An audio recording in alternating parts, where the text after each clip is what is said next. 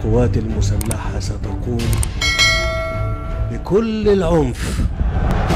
وتستخدم كل القوة الغاشمة. كل القوة الغاشمة.